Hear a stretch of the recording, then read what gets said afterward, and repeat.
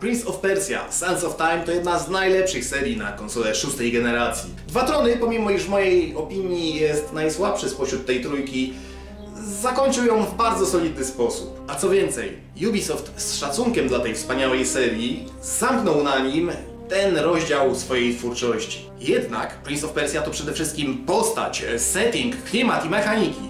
Nic więc nie stoi na przeszkodzie do stworzenia nowego księcia z nową linią fabularną. I tym jest właśnie ta gra z 2008 roku. Naturalnie, zaraz po tym, gdy okazała się finansowym sukcesem, Ubisoft z szacunkiem zalał rynek trzema presequelami Piasków Czasów o identycznym tytule każda. Ale to jest opowieść na kiedy indziej.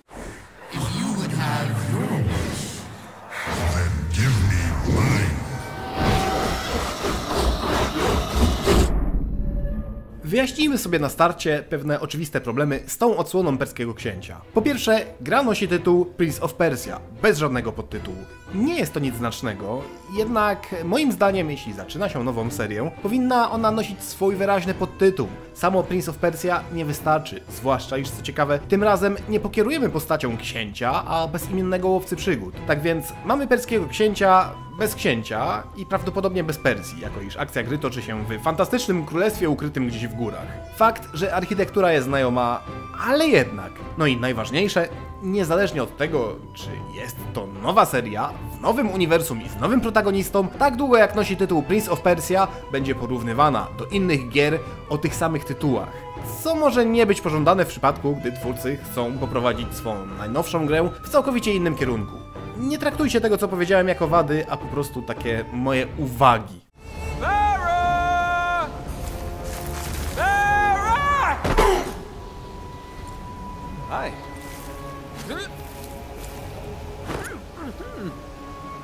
Nasza nowa przygoda zaczyna się na pustyni. Nasz pseudo, chyba być może książę Wannabe, nie tylko zgubił drogę do domu, ale również swojego osła obładowanego zrabowanym złotem. Całe szczęście, lub też nie, wkrótce spada na niego prawdziwa księżniczka, a za nią banda umięśnionych facetów, którzy nie wydają się zbyt mili. Jak na dobrego wagabundę przystało, śpieszy jej z pomocą, przez co zostaje wplątany w misję ratowania świata. Bowiem przywódca umięśnionych facetów okazuje się nie tylko ojcem naszej piękności, ale ponadto uwalnia złego boga uwięzionego przed tysiącem lat pod pobliską świątynią. Fortunnie ten potrzebuje czasu na zebranie sił, co daje naszym bohaterom okazję na odbudowanie pieczęci, które go trzymały pod ziemią. Fabuła nie jest mocną stroną tej odsłony perskiego pozera i nie ukrywam, że stanowi to dla mnie pewne rozczarowanie. Jednak gra ta stawia nacisk na coś innego, co częściowo wynagradza nieoryginalną i nieinteresującą fabułę. Chodzi mi naturalnie o interakcje niby księcia z księżniczką Eliką. Wzorowane są naturalnie na tych pomiędzy prawdziwym perskim księciem a księżniczką Farą z piasków czasu. He can make the corruption act for him. He shapes it, makes it become what he wishes. There was a potter I knew like that. Oh, the things she could do with her hands. Nasza heroiczna para nie tylko będzie się wspomagać w walce, zagadkach czy sekcjach zręcznościowych. Oni nieustannie będą komentować to, co się dzieje, zaczepiać się, obrzucać złośliwościami i żarcikami, co jest naprawdę fajne. Podoba mi się to, jak nasz bohater będzie łapał Elikę, gdy ta z czegoś zeskoczy, jak ją chwyci za rękę i podciągnie za każdym razem, gdy ta doskoczy do miejsca, w którym się znajdujemy. Te interakcje sprawiają, że nie postrzegamy księżniczki jako kolejnej damy w opałach, którą trzeba będzie eskortować przez całą uciążliwą przygodę. Ona jest tak naprawdę drugą połową grywalnej postaci. Nią i księciem gra się praktycznie jako jednym. No i naturalnie dodanie przycisku pogawędki było fantastycznym pomysłem. Thanks. Uh, they're so complex, I was worried they might evade me. S. Scar. No. Scarf? No. Shrine? Aha! No. I give up. It's too soon to give up. I give up! Soulless follower of Ahriman. Swoją drogą uwielbiam tą wersję niby księcia. Jest jajcarski, gadatliwy i mega pozytywny. Nie mam zamiaru ukrywać przed wami tego, że to właśnie on, a właściwie on oraz jego pogawędki z Eliką są w mojej opinii największą zaletą tego tytułu i tym, co sprawiało, że do niego wracałem do chwili wyskoczenia napisów końcowych. W sumie to zakończenie tej gry również uważam za przejaw geniuszu. Stąpający na krawędzi plagiatu, o czym opowiem później. You know, I once thought about settling down, milling flour for a living. Really? Are you kidding? How boring would that be? Naszym nadrzędnym celem będzie uleczenie Królestwa Eliki z korupcji złego boga, co wzmocni siłę zaklęcia, którego więzi oraz pozwoli odbudować pieczęć, czy coś takiego. To jest e, naprawdę bardzo nieinteresujące, a masa dziwnych imion i nazw sprawiły, że trochę mi zajęło ogarnięcie o czym oni nieustannie gadają. To, jak tego dokonamy, z jednej strony jest zaletą, z drugiej... szybko robi się bardzo nudne i powtarzalne. Znaczy się, to zależy. Ten Prince of Persia jest bardziej taką bardzo prostą, pozbawioną jakiegokolwiek poziomu trudności platformówką dla niewymagających fanów tego gatunku. To znaczy, nie możemy chociażby umrzeć, dzięki Elisa jesteśmy nieśmiertelni. Spadniemy w przepaść, wyciągnie nas ona i postawi na ostatniej stałej platformie, jaką dotykaliśmy stopami. Wleźliśmy w śmiertelny śluz, wskoczyliśmy w ogień, czy coś takiego. Za każdym razem wyciągnie nas ona, zanim zezgonujemy. Nawet gdy musimy uciekać z zawalającego się nam na głowę pałacu, tak naprawdę możemy bez włączenia pauzy iść zaparzyć sobie herbaty, bowiem kolejne sekcje budynku będą się rozpadały jedynie jeśli pójdziemy w dobrym kierunku. A gdy stoimy, te również będą czekały. Podczas walki e, również jesteśmy niezniszczalni. Nie ma możliwości paść od przyjmowanych na klatę lapsów mieczem. Wrogowie nie są w stanie zepchnąć nas w przepaść, a jedynie jeśli skrewimy o jeden quicktime event za dużo, Elika odepnie wroga, co uratuje nas, ale jednocześnie przywróci zdrowie naszemu oponentowi. Jako fan bardziej wymagających platformówek, takich jak Warrior Within czy Jack 2, nie uważam tego wszystkiego za wadę. Absolutnie nie. Wymienione przeze mnie gry, jak i wiele innych, wciąż na mnie czekają i gdy będę miał ochotę w nie pograć, wystarczy, że ściągnę je z półki. Ta odsłona Prince of Persia jest idealna dla tych osób, dla których poprzednie są za trudne. I to jest dobra rzecz. Jest też dobra dla tych z nas, którzy chcą się po prostu totalnie wyluzować przy czymś niewymagającym do tego stopnia, że 95% sekcji platformowych możemy pokonać trzymając gamepada w jednej ręce, a w drugiej butelkę z browarkiem tudzież kubek pysznej kawy.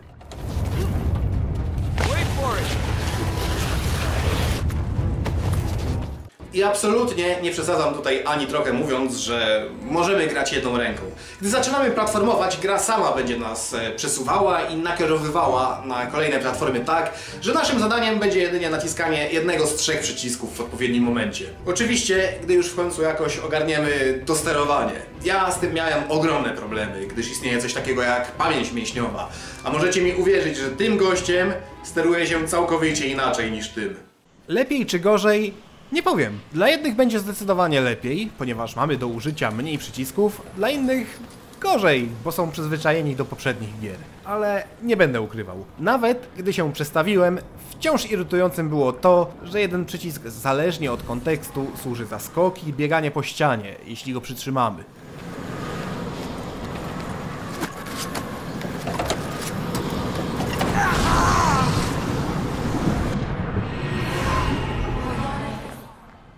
Świat oczywiście jest open worldem, podzielony na sekcje. Każdą z osobna musimy oczyścić z korupcji, co sprowadza się do dotarcia do jej centrum, pokonanie bossa i naciśnięcie przycisku na kontrolerze. Ta część świata stanie się bardziej kolorowa, odżyje jej roślinność i zapełni się znajdźkami, które będziemy musieli zebrać, by odblokować kolejne moce Eliki. Tutaj kłania się kolektaton. Całe szczęście nie musimy zebrać wszystkich świecidełek, a jedynie 540 z nich, by ukończyć grę. Problem w tym, że to wprowadza cholerną monotonię, jako iż fabuła jest nieciekawa i już na starcie wiemy wszystko, co wiedzieć mamy, a postaci poza naszą główną parą tak naprawdę nie istnieją. To gameplay powinien też być jakiś tam bardziej różnorodny i ciekawy, a tymczasem sprowadza się do banalnego platformowania, zdecydowanie mniej złożonego i rozmaitego niż nawet w piaskach czasu na PlayStation 2. Do tego pokonaniu bossa po dojściu do centrum obszaru, a następnie zbierania świecidełek e, w miejscu, które już przebiegliśmy w jedną stronę. Co więcej, bossów w całej tej grze mamy pięciu, więc poza ostatnim z każdym będziemy walczyć po pięć razy. Najczęściej bez e, żadnego dodatkowego urozmaicenia. No, przepraszam. Ostatnia walka z jednym z nich polega na chodzeniu w tył przez 30 sekund.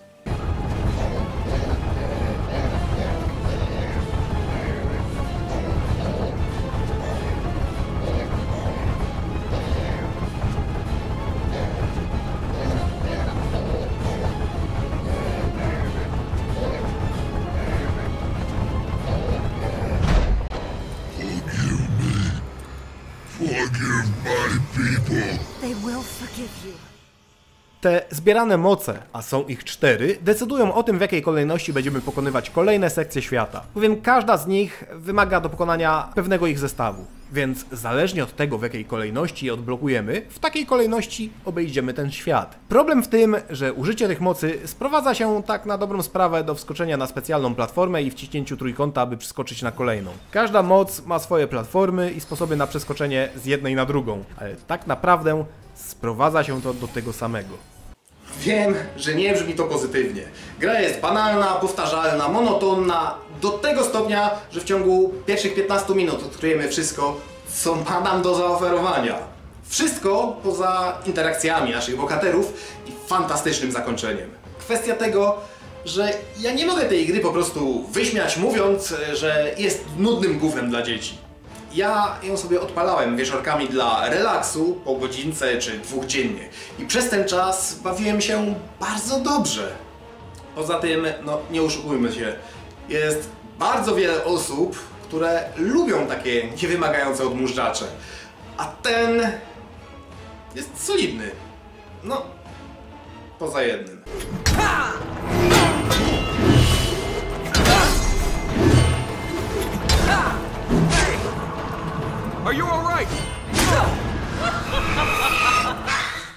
System walki się.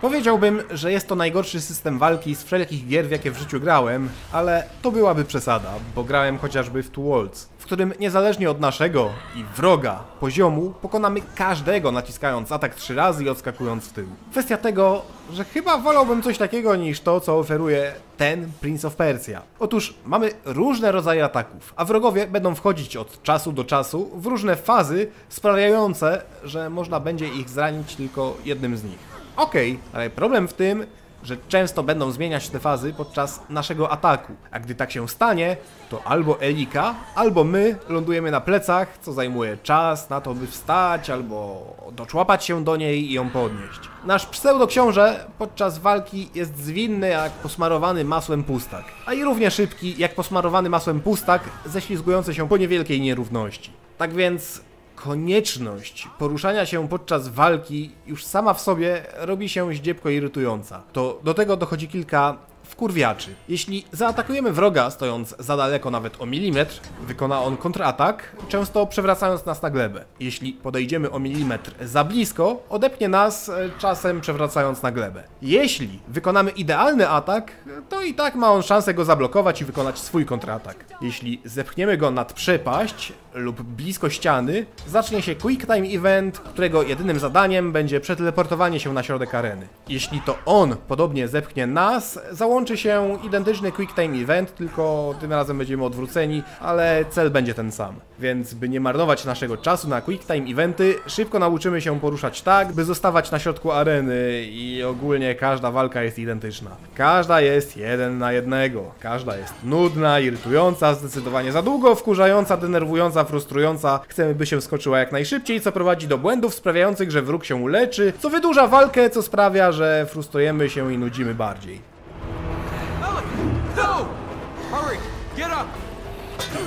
Tak więc o ile cała gra, pomimo iż powtarzalna i monotonna, jest równocześnie przyjemna w swojej prostocie. Poza walką, która jest jedynie powtarzalna i monotonna, a do tego nudna i frustrująca. Jest to śliczna, kolorowa gra, która oferuje coś innego niż te wszystkie, które były przed nią. Ja naprawdę rozumiem, że nie każdemu przypadnie to do gustu, ale po to mamy tyle różnych rodzajów gier, by każdy mógł znaleźć coś dla siebie. Jasne, że ja wolę bardziej mrocznego, napakowanego akcją i trudniejszego Warrior Within, ale to nie sprawia przecież, że ta z automatu nie będzie mi się podobała. Jest inna, stworzona z myślą o innym odbiorcy. Nawet jej muzyka jest całkowicie inna. Gorsza? Lepsza? Nie powiem. Jest inna. Jasne, że dla mnie ostre rytmy Warrior Within czy Sons of Time zawsze będą mistrzostwem, ale ta gra ma taką spokojną, melodyjną ścieżkę dźwiękową, która pasuje do tej gry i jej wolniejszego tempa. Poza systemem walki najbardziej mogę się przyczepić do projektu poziomów. Niby jest to miasto i pałac, ale wiem to tylko dlatego, bo Elika tak powiedziała. Nic tu nie wygląda na miasto, ani pałac. Wszystko jest losową mieszanką niepowiązanych ze sobą budynków, ruin i platform. A nawet same budynki są ekstremalnie bezsensowne, jeśli chodzi o ich architekturę. To co i róż burzy mą immersję i postrzeganie tego świata jako czegoś rzeczywistego. I to jest wada. Wiecie co? Ta recenzja brzmi zdecydowanie bardziej negatywnie niż to sobie wyobrażałem. I to wszystko pomimo, iż ja naprawdę lubię tę grę. No niestety, daleko jej do ideału. Daleko jej do Warrior Within. Ale po prostu jest inna, to, to jest inna gra, to nie są piaski czasu. Warrior Within to nie są dwa trony. A właśnie, jak już e, powiedziałem, zakończenie tej gry jest po prostu fantastyczne. Oczywiście posypią się spoilery, więc e, by nie było płaczu, informuję, że w tej chwili można już sobie wyłączyć, zakończyć tę recenzję. Know what it is that I ask. If you would have yours, then give me mine.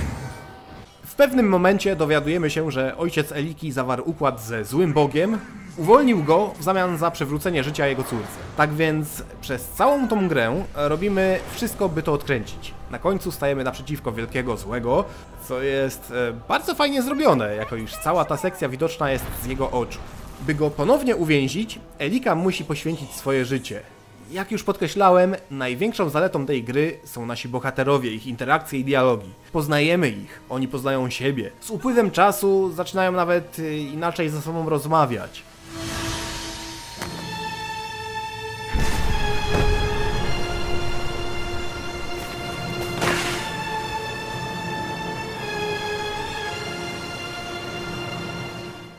Teraz, gdy po wszystkim nasz książę trzyma martwe ciało Eliki, widzi migawki z przeszłości, a dokładnie to, jak jej ojciec zawarł układ ze złym bogiem. Niosąc dalej jej ciało, słyszymy szepty, a po wyjściu ze świątyni i położeniu jej ciała na ołtarzu, zwracamy uwagę na wszystkie pieczęci, które przez ostatnie godziny w pocie czoła odbudowywaliśmy. Tak naprawdę w tej chwili możemy wyłączyć grę. Elika nie żyje, wielki zły jest pokonany, a świat uratowany.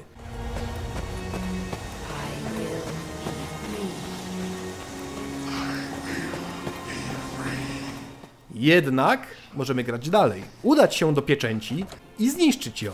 Po zniszczeniu pierwszej szepty się nasilają, stają bardziej wyraźne. Po pozbyciu się kolejnej jeszcze bardziej i bardziej. To od nas zależy zakończenie tej opowieści. Zostawimy świat w pokoju, czy wymazujemy wszystko, co do tej pory osiągnęliśmy, by odzyskać dziewczynę, skazując jednocześnie świat na zniszczenie to jest genialne. To bardzo, ale to bardzo przypomina mi Shadow of the Colossus. She has blinded you with her light, burned her will until it became yours. Reclaim that will. Reclaim your destiny. W sumie to jest e, praktycznie to samo, bo o ile z początku nie wiemy, że kolosy to strażnicy złego Boga, o tyle z czasem my musimy być, nie wiem, chyba ślepi, by tego nie zauważyć. Ale uwalniamy go pomimo tego, byleby odzyskać dziewczynę. Ja uwielbiam to zakończenie. Oczywiście wersje konsolowe mają DLC-ka z epilogiem, ale za 42 zł jest on całkowicie tego nie warty psuje idealne zakończenie podstawki, oferując w zamian gdzieś z godzinę dokładnie tego samego, co robiliśmy wcześniej. Tyle, że teraz Elika jest wkurzona i nas nie cierpi, a zakończenie tego epilogu się potwornie. Więc epilog wam do szczęścia niepotrzebny, a w tego Prince of Persia możecie pograć. Jest... no... okej jest. Nie zabrzmiało to zbyt pozytywnie.